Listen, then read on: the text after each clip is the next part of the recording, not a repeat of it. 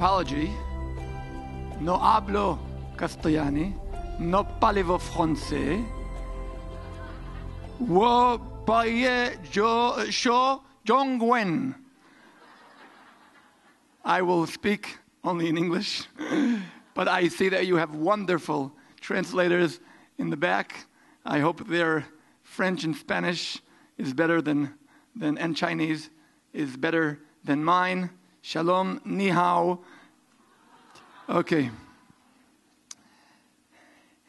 I want you to know that I'm here, first of all, thankful to God that I am broadcasting live. Broadcasting live, I would say, to make the long story short, short, he's dead and I'm alive and I'm continuing to speak in the name of God.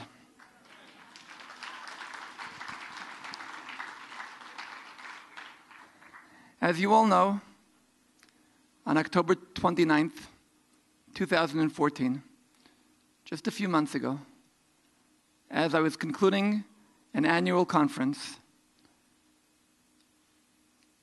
with the title, The People of Israel Are Returning to the Temple Mount.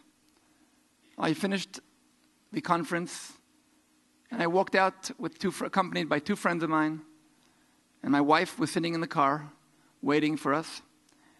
And I was approached by a young man on a motorcycle.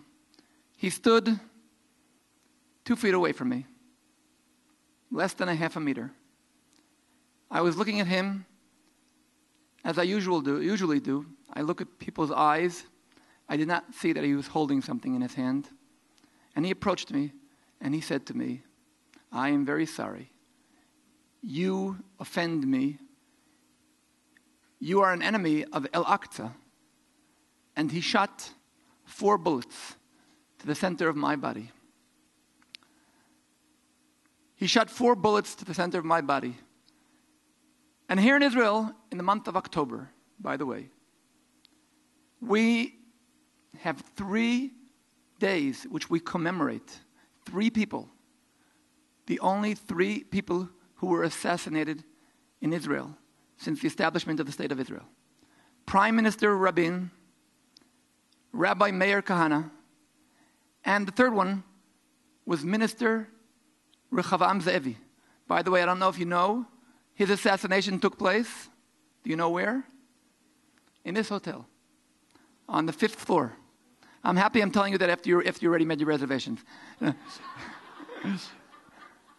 all of those three people were all assassinated in October. I'm happy to tell you there is no day commemorating my assassination. I'm happy to tell you that I arrived at the hospital thanks to Magen David Adom, to the wonderful hospital of Shaare Zedek in Jerusalem. And Israel does have wonderful medical services. And I arrived there 13 minutes after the person shot me, which means the ambulance came, picked me up. 13 minutes after I was shot, I was already lying in the trauma room in the medical, cent- in the medical center of Shaare Zedek. Just to tell you a short story, one month after I was the attempt to assassinate me, my wife, my, my daughter, gave birth to our fifth grandson. His name was, he was named Imadi, with me. It comes from the verse in Psalms which, say, which says, Even if I walk in the valleys of death, I will not fear bad. Uh, uh, I will not fear because you are with me. So my grandson's name is with me. When my daughter was in the labor room, the nurse who was taking care of her told my wife, After we finish here, I want to tell you a story.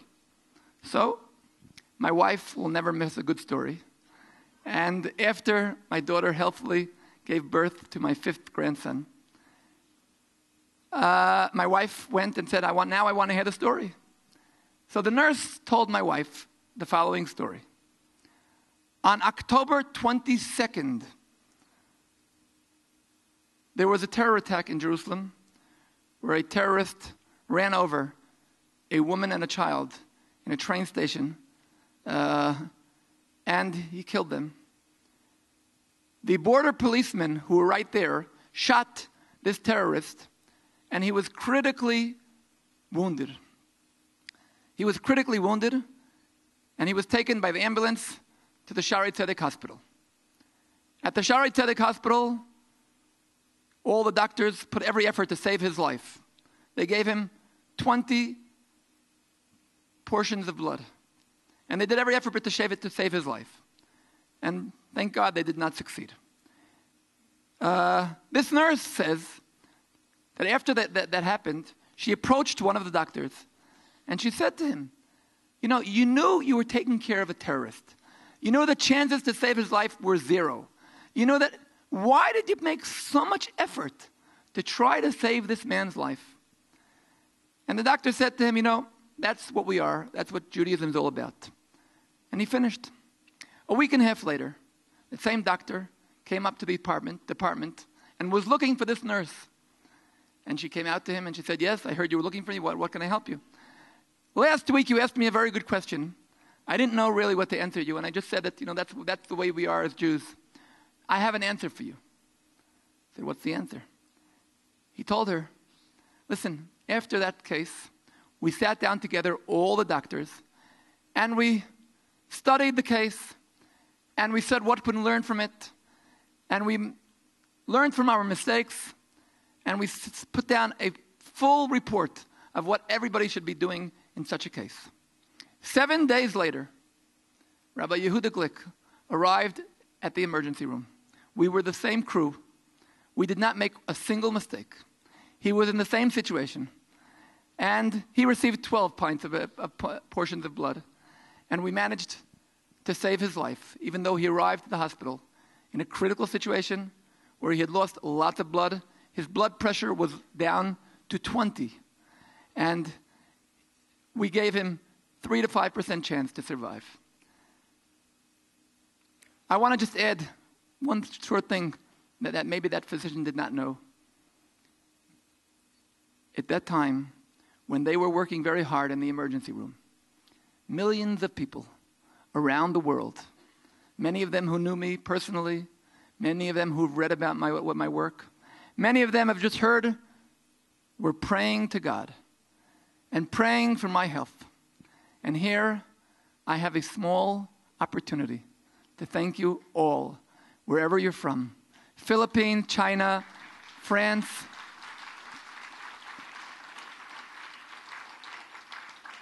I received a personal hug from God who said to me, Yehuda, I love you.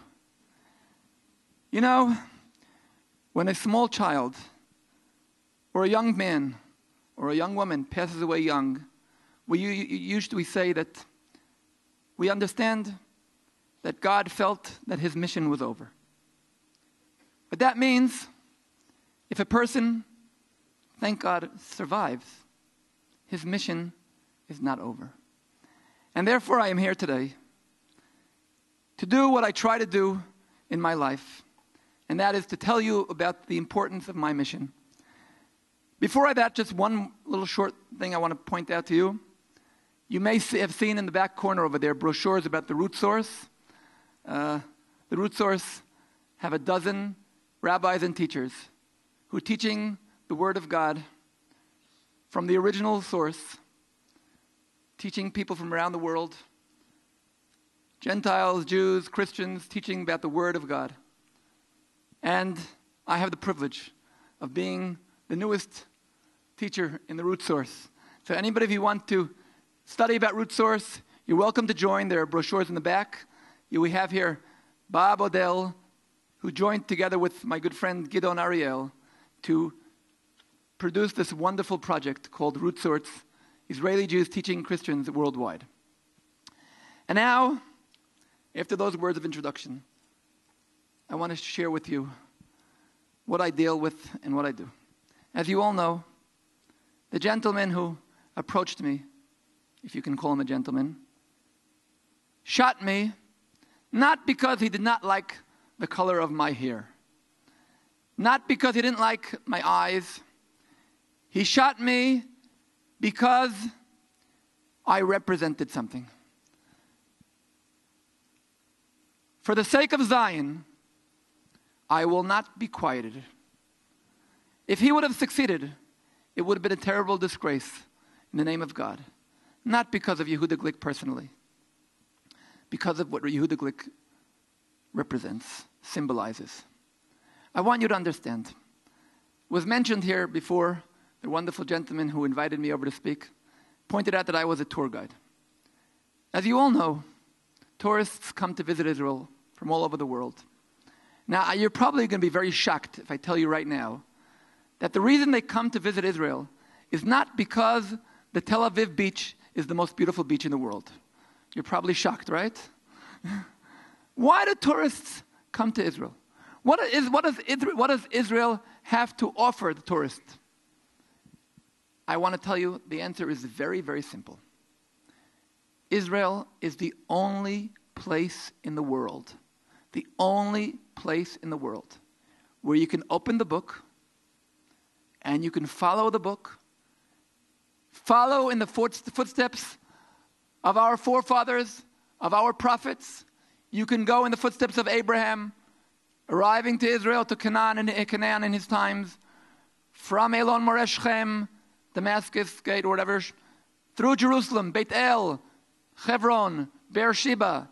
You can go visit Amos's home in Nokdim, Tkoa. You can go visit Jeremiah in Anatot. You can go find King David hiding in a cave in En Gedi.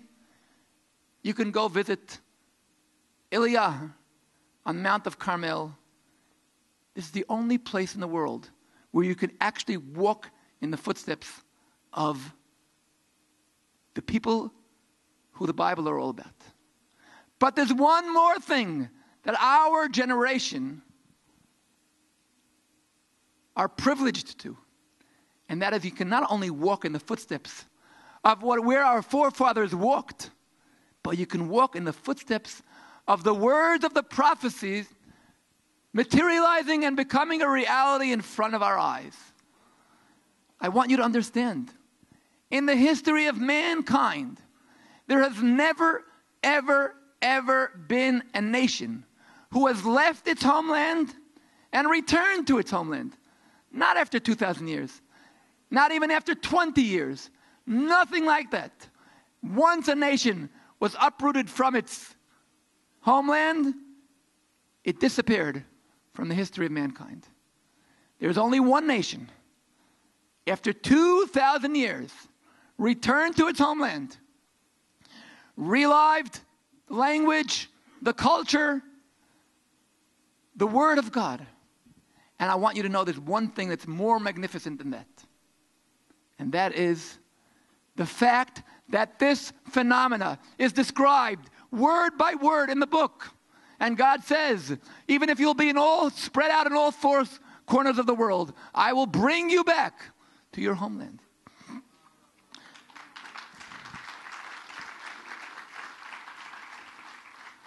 the promised land of Israel. God land, God's chosen land, and God's chosen people have returned back home. We've gone through a difficult history. Throughout history, many nations, in the name of ideologies, in the name of God even, tried to wipe us out of the world. They all were speaking only for the good of mankind. God forbid they had no evil. Only for the good of mankind. They wanted a final solution. They, they, they wanted to evacuate us from Spain. They wanted. And here we are, back home. And I want you to understand. Therefore, I say very often in our generation, to be an atheist, you need a lot of faith. To see the Word of God materializing and becoming reality, how can you look at them? And yes, the return to Israel has happened step by step. We returned to our homeland. We were not able to go to Jerusalem. 19 years later, 1967, the gates of Jerusalem opened their, their arms for us.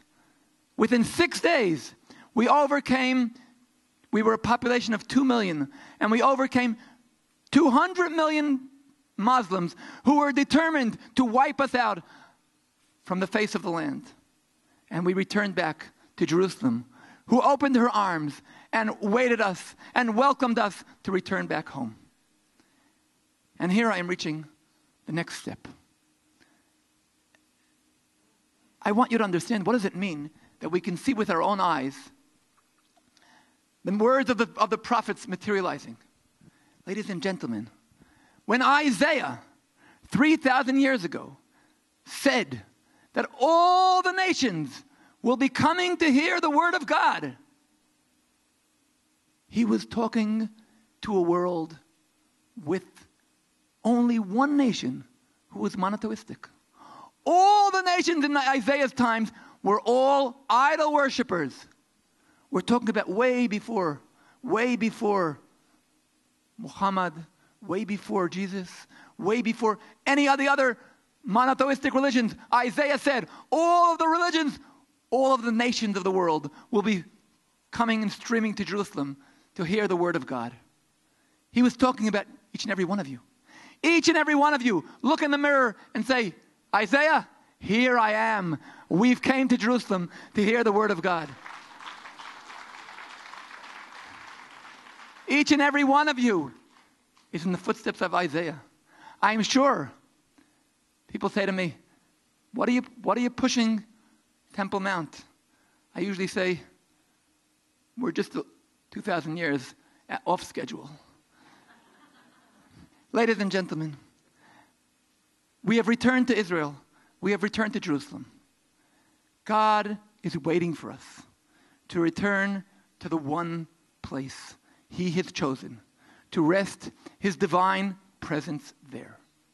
God said, There is one place in the world where my divine presence rests forever and ever, and that is the Temple Mount. Ladies and gentlemen, the Temple Mount has been neglected for several years. Many people have come to Israel and have been told mistakenly that the Western Wall is the only and the most ancient remnant of the Holy Temple. That sentence is 100% true, just a few tiny mistakes. It's not a remnant of the temple, it's not the only one, and it's not the most ancient. Besides that, the sentence is 100% true. Ladies and gentlemen, the Temple Mount, all of its walls have been destructed except for four the east, the west, the north, and the south. All the other walls have been totally destroyed. But those four walls are all standing there 100% full, exactly as they were in the time of Herod 2,000 years ago. They're all there. People, as tour guides, we all are always asked, How do you think Herod built that wall? Listen, the details are not interesting. God wanted those walls to stand for 2,000 years. He put in Herod's mouth, brain, the, the, the wisdom of how to do it. I don't know. I can give you a, a full lecture of the 17 different uh, uh, uh, theory, theories. They all can be summarized in one sentence God wanted them to be there. And they are all four there. The eastern one is actually the most ancient one. In 1967, God gave us Jerusalem.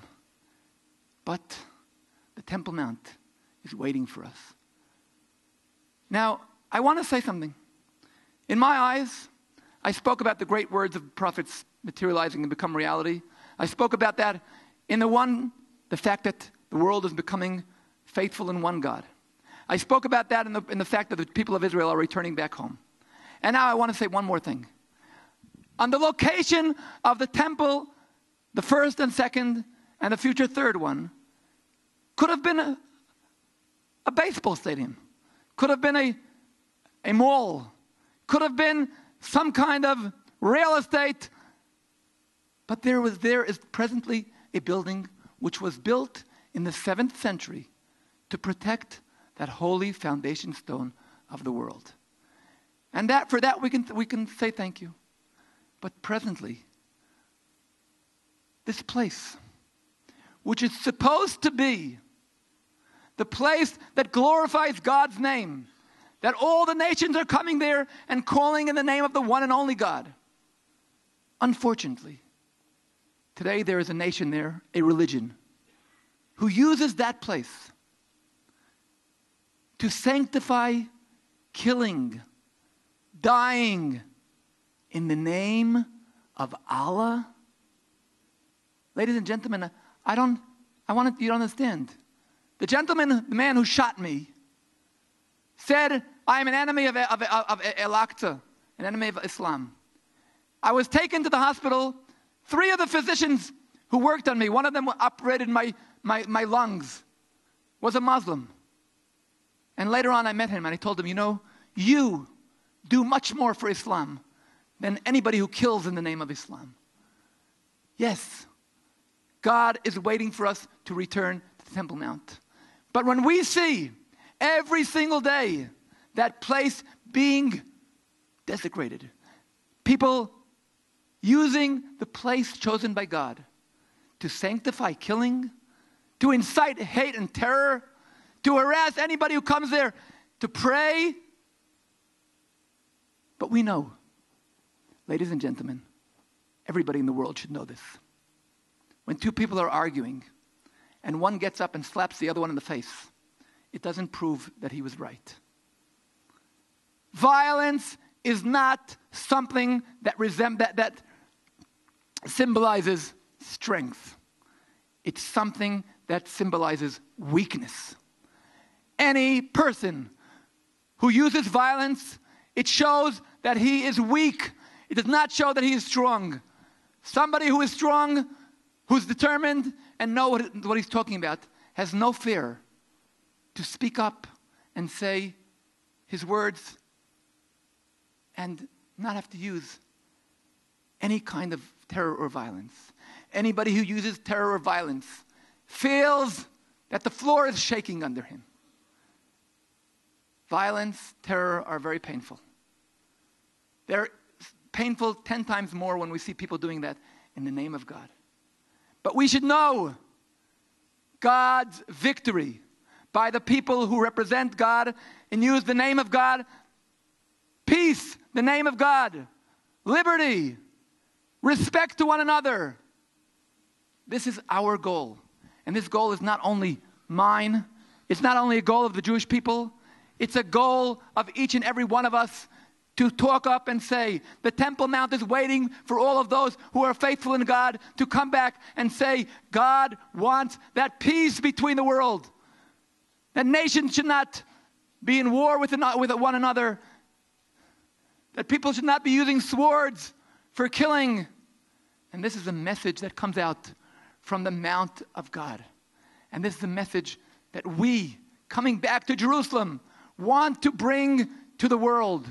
Today, most tour guides who take groups up to the Temple Mount teach about when Muhammad was born, when he spoke to Gabriel the angel, what his ma- ma- magical horse flew, where the hairs of his, of, of, of his beard are still staying. And they don't mention a word about Abraham, about King David, about Solomon. They don't mention a word, even Christian guides they don't tell people anything about the story of Jesus turning over the tables on the Temple Mount. Everything they talk about on the Temple Mount, they talk about Muslims, Islam. And that is the official, they take people to visit Jerusalem of the three religions. They go to the Church of the Holy Sepulchre, Christianity. They go to the Temple Mount, Islam. And they go to the Western Wall, Judaism.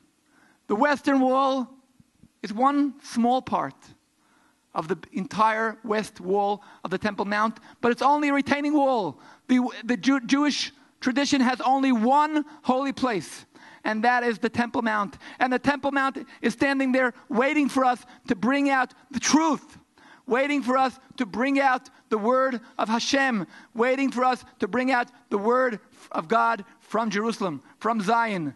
The return to Israel in the 19th century was done by people who were totally irrational. Jewish people can establish a Jewish state? Impossible. No such thing. Impossible. But these crazy people were a very small minority of the Jewish people. They were attacked by everybody the ultra Orthodox, the Reform, the secular, the Bonds, the Socialists, the Revisionists. Everybody attacked them. But after 50 years, from the first Zionist conference, they established the State of Israel. The people of Israel established, returned home. I want you to understand they called their movement the Zionist movement throughout the entire Bible. Whenever it's talking about Zion, Mount Zion is always the Temple Mount.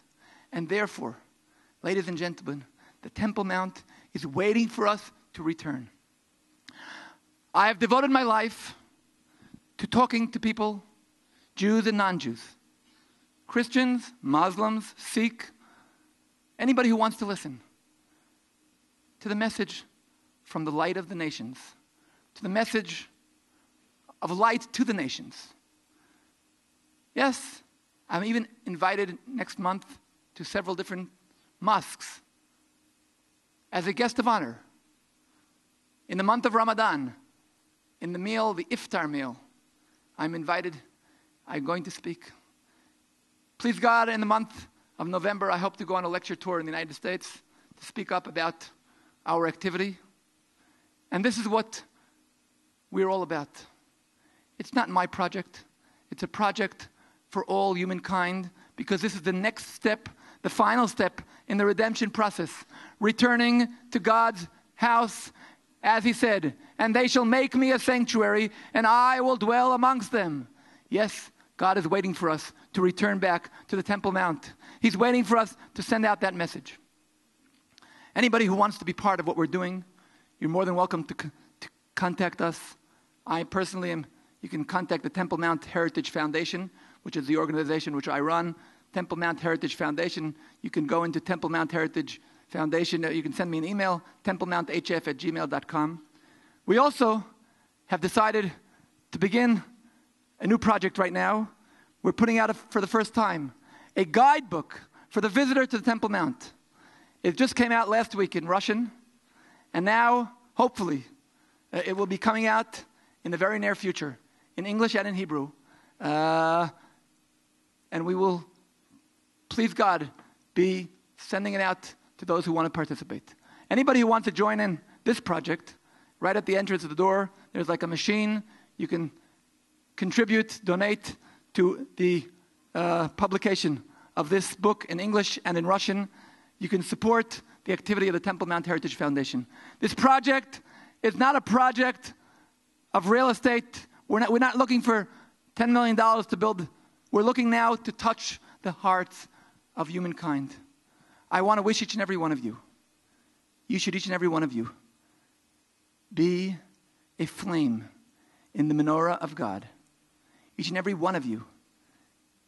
Whether it's descendants of Joshua, the family of the Kohen Gadol, the high priest, or whether it's descendants of Zerubbabel, the family of royalty of kingdom, whether it's people from any tribe you are, you're welcome because we want to work together. We want each and every one of you to be one of those seven eyes on the stone in Zechariah's prophecy. We want each and every one of you to bring out the word of God from Jerusalem to your friends, to your relatives, to your neighbors. Here from the city of Jerusalem, from the mountain where we can see from the window the Temple Mount. I want to wish each and every one of you prosperity, health, knowledge of God. I want to touch the hearts of each and every one of you, coming from the Word of God, praying to God that I will, that we will all go in His footsteps, continue the mission He has appointed to us. And I want to wish each and every one of you to feel the light of God filling your heart and your soul and touching through you, as each and every one of you, a flame in God's menorah, bringing His light to all and every one of you, and all and everyone who is close to you. I thank you all very, very much. As I said before, I will be staying around here. I will be staying around here for another hour. Afterward, after the next lecture, anybody wants, I have receipts and you make a contribution directly, or you can use the uh, machine outside. But once again, thank you, thank God, thank you each and every one of you for your prayers, for, person, for, for personally, and for the prayers in the sake of the people of Israel. As you all know, sometimes in the media, it seems that the people of Israel don't have so many friends around the world. Every time I come and meet these wonderful groups, such as the one we're talking about right now, Christian Friends of Israel. And I want to thank you all for, bring, for being true friends of Israel. Thank you.